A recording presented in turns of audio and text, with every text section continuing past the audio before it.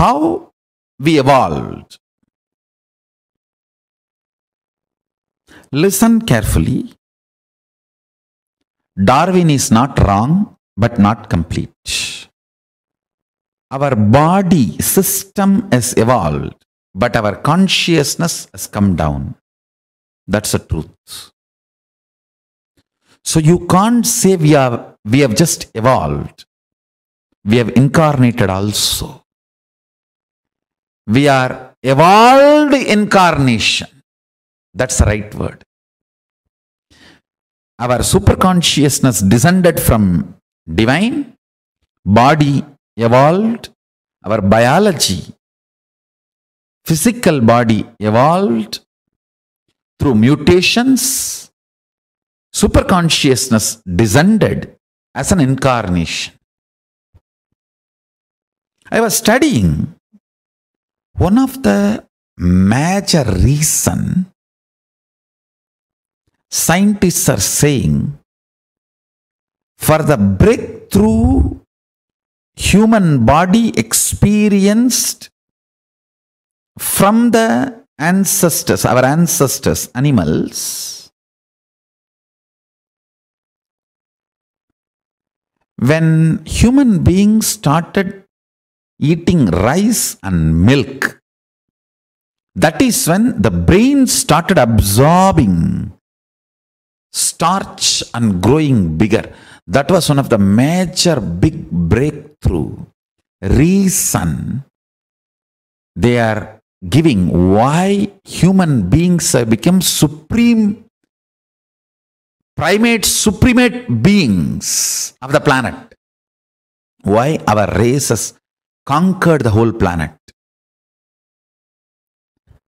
The brain started absorbing the starch from rice and milk. Understand? How brain absorbing starch from rice and milk is responsible for the DNA breakthrough. I tell you, it is puja which will be responsible for your conscious breakthrough. It is during the puja you absorb oneness into your system. Super consciousness, which is reflecting in you,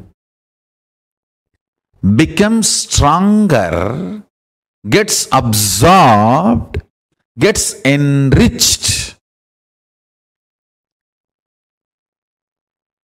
with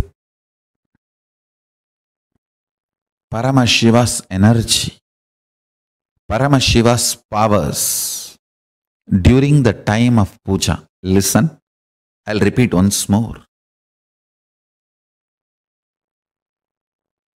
Your body which evolved, your consciousness which descended.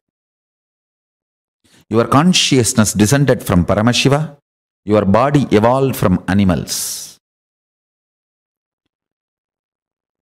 During the time of the puja, your body imbibes the state, space, powers, and being of Paramashiva and starts manifesting.